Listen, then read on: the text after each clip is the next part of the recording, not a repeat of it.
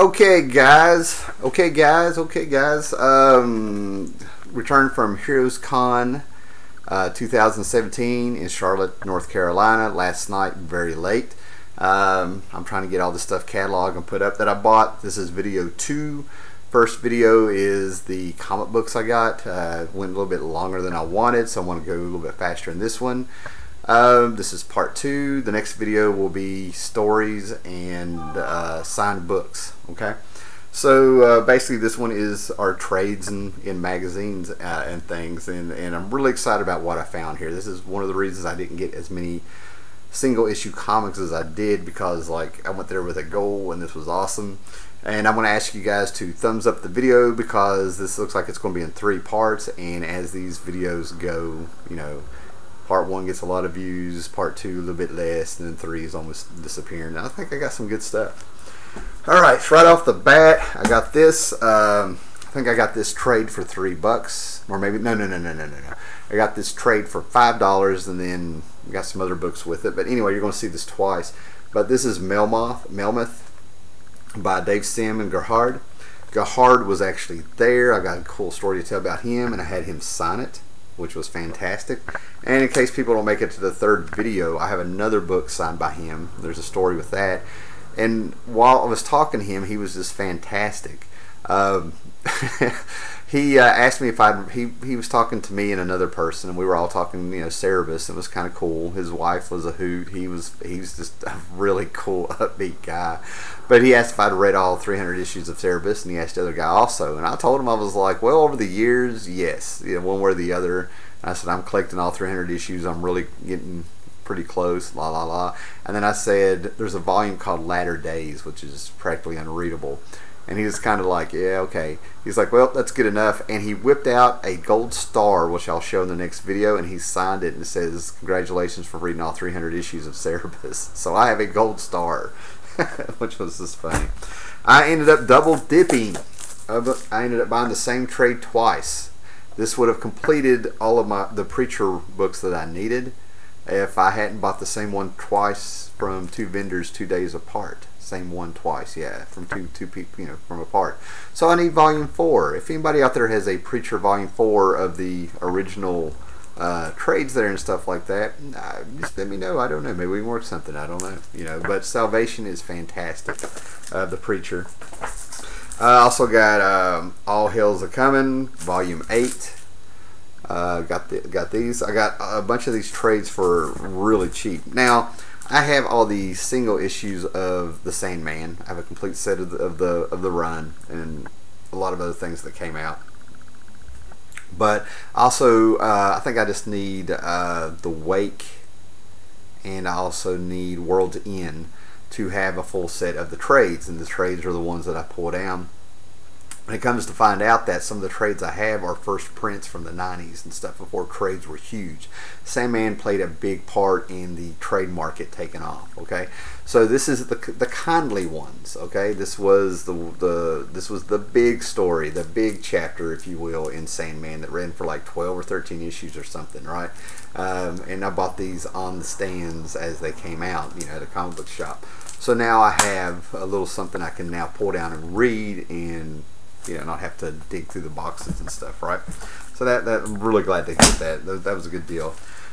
Got this for five bucks. This is from I don't know what year, the 21st anniversary special of Doctor Who.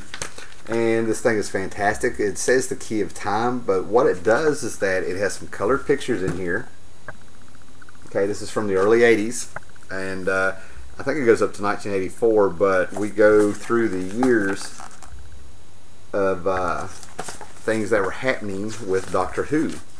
And they actually give you dates and a synopsis, and as you go through the years and the dates on this, and look at the nice little pictures that people have drawn that they filled it up with. Um, you know, it talks about news, the uh, England's, London's reaction, characters that popped up, uh, they the dates that certain shows showed up, and how people did it. Turns out there was some scandal. Turns out that when Tom Baker came on, there were some people who really had a huge problem with uh, him being the new Doctor Who, and I think I'm going to go back and read it. But a lady tried to sue the BBC because you know the Tom Baker Doctor Who episodes scared her son or a kid so bad he peed the bed, and they had to bring in a psychologist and everything to get out there. But uh, this thing has some fantastic pictures, colored pictures in the middle of it of the episodes, and I went ahead and made this my banner or whatever it is on Facebook of all five doctors at the time. So just a great thing. And some people on Facebook, when I posted a picture of this, uh, one or two people said they had it also. Then I think they're going to dig theirs out. All right, then I uh, picked this up for uh, for a for my girlfriend, um, Rachel Rising Omnibus. Uh, fantastic price on this. Focus. And um, this thing, what is going on with this camera? Uh, and this thing, I bet you, I don't even think it was. Uh, what's I don't know what the original price was, but I think this thing was almost ninety percent off. I might be exaggerating because I don't really remember how much this thing was. All right. Then I got this. I just put down the 10 bucks for this. I didn't try to haggle. I put a bunch of stuff back when I saw this and went back and got this. This is volume one. These things sold out quick. I saw up to 10 volumes of this. Um, but I had to get it. Volume one, the first seven magazine issues of Vampirella, all in hardback, with a beautiful Frazetta cover and this thing is just fantastic. From 1969 and probably going into 1970 depending on when it came out Vampirella you know the greatest ghoul girl in comics ever. And uh, Trina Robbins actually designed her costume. Uh, but I was so happy to find this. Thank you Dynamite for putting this in a fantastic collection. Oh my gosh. Um, and that was on day one I was already like bouncing around now we get into the books that's made me rethink my entire collection because the nostalgia hit this. I, there's been conversations over the years on uh, this channel and other channels. If you go all the way back to the dawn of the community on here, going back seven years, where why do we collect and why are the books special? And uh, one or two people always said there's a nostalgia factor, and I never did not argue that point, but that nostalgia factor very rarely ever really hit me, and then it hit you know. But this is from an era of comic book collecting that just got me and I was so glad to find these and I got these for a great deal. When I got my appendix took out that we you had on the newsstand a three issue uh, miniseries of Bill Sienkiewicz and I think Archie Goodwin or somebody. I don't know who adapted it. Ralph yeah Ralph Ma Ralph Macchio. But they came together and they did the movie adaptation for Dune and this is the Marvel uh, Super Special, which these things are pricey, and I cannot believe I found this for I think two bucks. Uh, so this thing is in fantastic shape, and I was so happy. So you talk about the nostalgia. I was in the hospital, had my appendix took out, and people went out and got me huge stacks of comic books from the Magic Marts and around, and I ended up with quite a bit of comics, you know, for having my appendix out. For two bucks, Revenge of the Monolith. These are first prints apparently, right?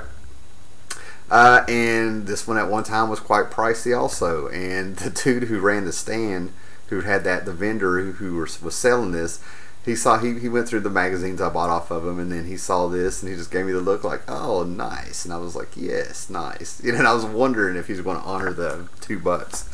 Uh, then I could not believe I found this. This is Hooky uh, by some writer that I've never heard of, and I don't know if she wrote anything else. But this is, you know, Bernie Wrightson doing some Marvel stuff, Monsters and Spider-Man. Fantastic. And these things are in phenomenal shape. Then I've never gotten to read this, and I knew it was out there, but this is Charles Vess uh, doing a Marvel graphic novel called Raven Banner, which has fantastic art in it. Just fantastic. I hope that is showing up. Focus. Yeah, like I said in the previous video, it is raining outside. I have every light on the house on and it's late, so maybe I shouldn't be doing this now. But this thing is fantastic. It's a fantasy masterpiece. Marvel graphic novel number 15. You know, dragons and Hela. So I think it's a tale from the past of the Norse mythology and stuff, right? And then, do I want to do this, right? This was the other nostalgia that hit. I read this as a kid. I had a $5 allowance. I could not afford these, so if my stepdad didn't get them, I didn't pick it up, didn't get to read them. And Epic Illustrated, excuse me, Epic Illustrated. And this was more or less Marvel's answer to uh, heavy metal. and the people that were on this book, it's just fantastic. This is where I first read some Cerebus stories. Dave Sim did some color stories of Cerebus as a kid in here, and I think one where he's a tax collector. Um, but I got 23 issues, and these were so hard to find. 20 bucks for 23 issues with a number one. I'm going to mess with the camera because I'm so proud that I found these. Right? Yeah, I think that's number one right on top, right? But these were the books as a kid that I would go through and read them. I'd read Heavy Metal magazine. That's in, um, uh, you know, went through it and, you know, it was uh, European art. I got to see it um, with Moebius and Bernie Wrightson before I knew who his name was. And, uh, oh my gosh, uh, I've, I've, met these guys and talked to them. And anyway, anyway, but uh, I got this, and man, when I was going through these magazines and stuff, the nostalgia hit me with that Dune. Uh, so I got some fantastic issues. This is going to be crap. Oh well. Yeah, just good stuff in here. Like I have a pretty nice collection of these upstairs, but like I said, now this issue is the one where I had to do it. I had to go out and I had to buy it. Okay. This was the first one that I bought with my money, and it had uh, look at this: Bernie Wrightson, Jim Starlin, and it had John Byrne doing the last Galactus story in it, which did not. Epic Illustrated got canceled before he could do the you know complete that story. But these are just fantastic, and these are in great shape, and they're complete and they're not beat up. Uh, just fantastic stuff. Oh my gosh cannot, and I'm probably going to end up going through these tonight. That's definitely an upgrade. I've got two or three of those. Woo, getting ahead of myself. So just fantastic stuff. Oh, can't wait to put these in order. Jim Starlin did some of these. Neal Adams, Barry Windsor Smith, uh, all kinds of all kinds of stuff. And this was like adult stuff, but it was not as abrasive and uh, psychedelic, I guess is the word, as uh, heavy metal at the time. And as we all know, heavy metal has a very, very, you know, big party in my heart. But it's the Epic Illustrated but those magazines, the Dune magazine, those graphic novels, these Epic Illustrated, it felt like 1982 and 1983 to me when I was a kid. You know, some of these books came out like in 85, don't get me wrong, you know. But the Epic Illustrated, having those in my hand and seeing them, I could smell the air of that year. And I could, I remember, I could feel the sun on my back from it, and it felt like 1982. There was an atmosphere when I was going through those, so the nostalgia hit. I guess anybody that's experienced nostalgia knows what I'm talking about. All right, one more video to go. I don't know if I have it in me. I might shoot it tonight, might shoot it tomorrow. The camera's pissing me off, the lighting's pissing me off. Uh, it might have something to do with my battery dying on the computer also. All right, next video will be signatures and stories of, um, of a Heroes Con. So, like I said, give it a thumbs up. Later.